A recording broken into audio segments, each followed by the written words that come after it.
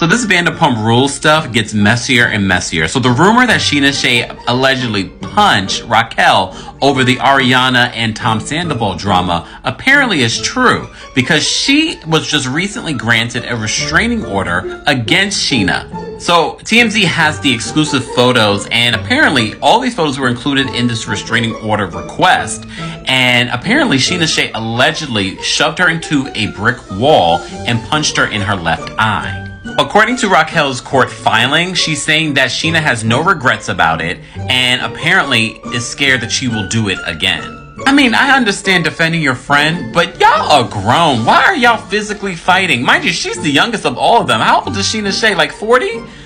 Girl, get your life together.